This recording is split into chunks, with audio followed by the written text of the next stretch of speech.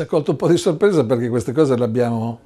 praticamente recepite tramite la stampa, perché non, eh, noi ci confrontiamo con le autorità d'ambito, quindi l'ATA, e da quello che ne abbiamo capito non, non sapevano assolutamente niente di questa eh, iniziativa. Eh, analogamente ci confrontavamo e ci confrontiamo anche con marchi multiservizi e anche loro erano all'oscuro di questa iniziativa, quindi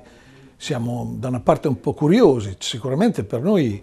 eh, ci interessa gestire questa partita perché penso che sia di primaria importanza intanto per l'ambiente, in secondo luogo per ASET, perché gestire dei servizi è, è la strada migliore per garantirsi un futuro, per garantire un'efficienza e per la ricaduta sul territorio, perché riteniamo che avere un, un, impianto del genere in un comune come Fano possa portare molto a una città come Fano, ai cittadini fanesi, oggi e in futuro, parliamo di vent'anni, di eventuali contributi che potrebbero essere riconosciuti da, dall'autorità d'ambito. Poi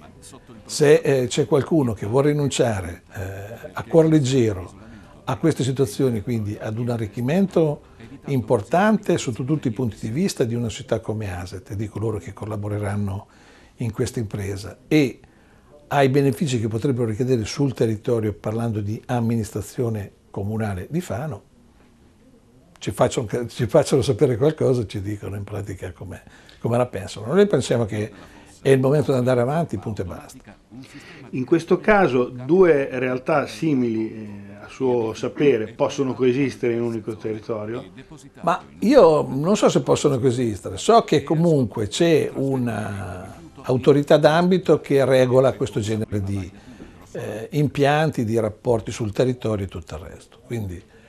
da quello che ho capito io a livello insomma, nazionale si va verso un, una sorta di impiantistica che non superi l'ambito provinciale. Poi eh, c'è una, una, una, parte privata che eh, si dovrà accollare determinati rischi e quindi si vedrà insomma l'esito. Però è una realtà che non conosciamo, è una società con la quale non abbiamo mai avuto nulla a che fare, un territorio che non si è mai rapportato con noi in questi termini, quindi ci rimane molto difficile parlare di ipotesi, eh, suggestioni e quant'altro. Ecco, sulla carta loro hanno già presentato in provincia un progetto di fattibilità, anche il comune di Barchi lo ha ricevuto. Eh, per quanto riguarda il vostro iter invece qual è lo stato dell'arte? Ma noi aspettiamo che il comune ci dia l'input per i, le fattibilità. Abbiamo tre fattibilità su tre luoghi e quindi eh, con la fattibilità si capirà praticamente qual è il sito migliore, il più consono alle caratteristiche che noi ricerchiamo e, e a quello che, che in pratica è, è il territorio.